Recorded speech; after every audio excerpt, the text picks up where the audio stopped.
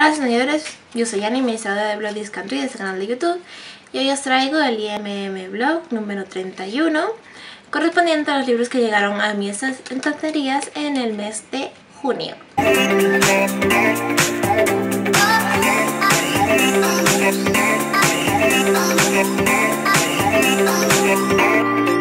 Este mes también ha sido un mes un poco loco y ha habido bastantes libros y eso que había que lo que quería hacer era ahorrar para la TLP que es dentro de poco, ya os hablaremos un poco de ello Alexei y yo. Bueno, al final las cosas salieron un poco raras y compré más libros de los que pensaba y demás.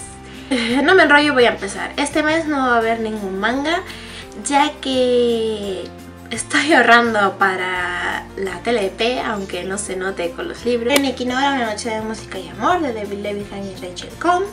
Es un libro autoconclusivo y es de ediciones B. Este libro al principio se lo compró Alexei, pero no fue lo que ella esperaba y como no lo pudo devolver, lo que hice fue comprárselo yo y bueno, esto tenía muchas ganas de leer algo de David Levithan, así que dentro de poco podré hacerlo con este libro.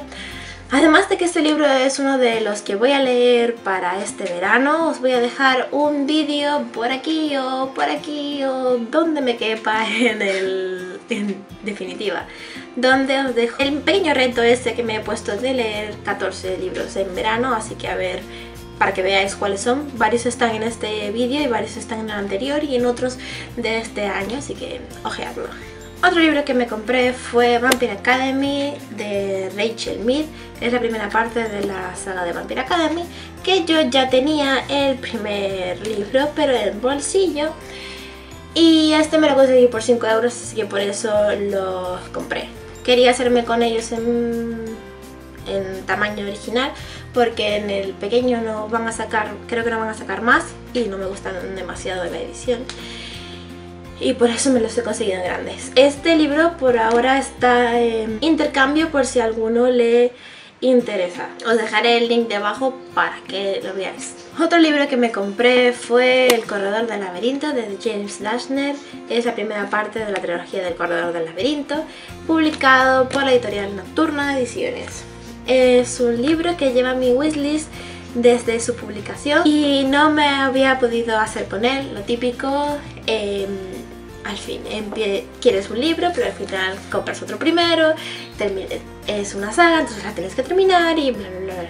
Ahora con la película he decidido ya por fin hacerme con él y leerlo, así que será una de las próximas lecturas que haga porque tengo muchísimas ganas y porque en septiembre sale la película con mi queridísimo Dylan O'Brien y tengo que verla. Hice la preventa casi un mes antes, como suelo hacer con los libros que espero demasiado, y es Ciudades de Papel, de John Green. Fue, es el segundo libro que publican de Nube de Tinta de John Green, el primero fue Bajo la misma estrella, como ya sabéis, que está ahí reseñado en el blog. Y bueno, Ciudades de Papel no podía no podía no comprármelo. Ha sido un regalo de mis padres por las notas, por así decirlo. Y bueno, todavía no he podido leerlo, pero le tengo muchas ganas. Ahora paso con los envíos de editoriales. El primer libro me llega por parte de Destino y es A todos los chicos de los que me enamoré, de Jenny Ham. Es un libro del que están hablando muchísimo y tengo muchísimas ganas de leerlo. La editorial me lo envió con esta postal, que es preciosa como el libro. Y detrás de la postal es una receta de galletas, los libros que voy a leer para este reto que os he comentado. Los dos siguientes me llegan por parte de Alfaguara, espectacular ahora de Tim Zart. Zart eh, es de decir que Alfaguara se le ha ocurrido muchísimo con esta portada porque es muchísimo mejor que las originales y también mejor que la de la peli, he de decir.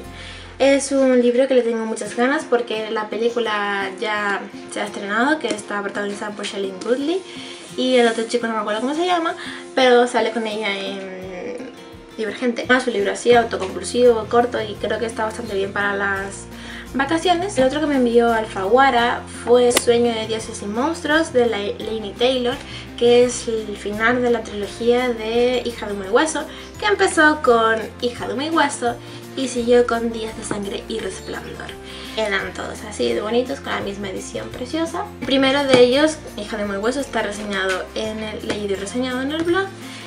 Y Los otros dos todavía no los he leído, pero tengo un reto para terminar sagas y una de ellas es esta, os dejaré el link debajo de la entrada a la que hablo de ello. Y por último me llega de parte de Pamies, del su sello Proof, La jugada perfecta de JC Burton, o Barton. Es el primero de una saga, pero no me acuerdo de cómo se llamaba la saga, creo. Y ese es un libro que voy a leer, empezar a leer dentro de poco con la señorita Anita de Nube de Lectura. Y bueno, eso es todo. Estoy grabando este vídeo como siempre en verdad lo estoy grabando a tiempo, pero cuando lo suba lo subiré tarde, así que seguramente cuando suba este vídeo habrá más libros reseñados de lo que he dicho ahora. Como siempre os dejaré todas las reseñas de los libros que estén reseñados eh, debajo de este vídeo en el blog. Y si os ha gustado el vídeo dale like y suscribiros. No os olvidéis de seguirme en las redes sociales para estar al tanto de las novedades del canal de YouTube y también del blog. Y nos vemos en un próximo IMM. Y mientras tanto nos vamos viéndose todos los días en el blog y en todos los demás vídeos que se me ocurra subir hasta el próximo Oye Bebé. Hasta la próxima. Adiós.